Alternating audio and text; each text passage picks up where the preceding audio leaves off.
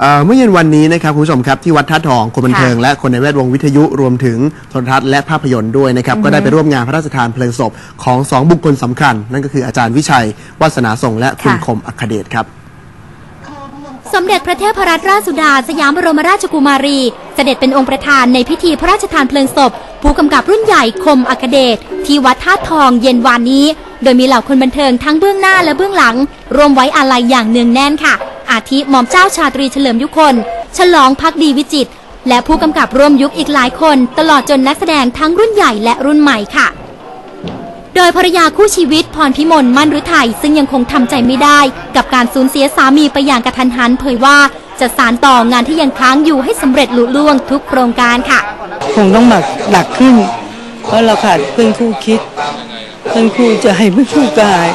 นี่คือสำคัญที่สุดก็บทก็เริ่มทำแล้ว ก็มากเรื่องพอสมควร ก็ทุกอย่างก็คงดำเนินการต่อทุกเรื่องค่ะตามที่คุณคมมีเจตนารมเอาไว้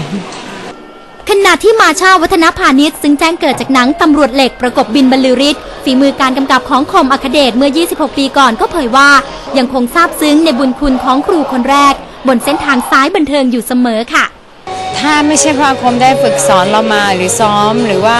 ให้เราเรียนบู๊มาอะไรมาเนี่ยเราคงจะเล่นหนังแอคชั่นหรือว่าอะไรอะไรหลายอย่างไม่ได้เลยอะไรเงี้ย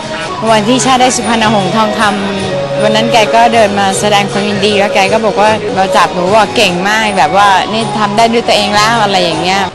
คมน์ อรรฆเดชหรือชื่อจริงนายสมคิดเล่งอิวเสียชีวิตกะทันหันในวัย 66 ปี ด้วยอาการหัวใจล้มเหลวเฉียบพลัน ขณะเดินตรวจงานที่ห้างสรรพสินค้าของตนเองที่จังหวัดสุราษฎร์ธานี เมื่อวันที่ 9 สิงหาคมที่ผ่านมา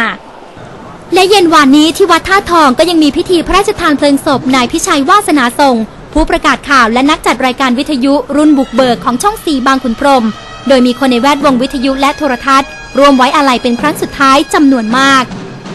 นายพิชัยวาสนาส่งถึงแก่อนิจกรรมด้วยอาการเลือดออกในโพรงสมอง เมื่อวันที่ 8 เมษายน รวมอายุได้ 83 ปีค่ะ